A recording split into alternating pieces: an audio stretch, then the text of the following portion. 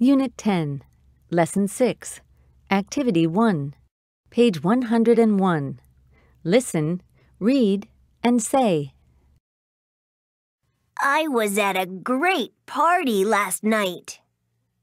How much food was there? There was lots of food. How many children were there?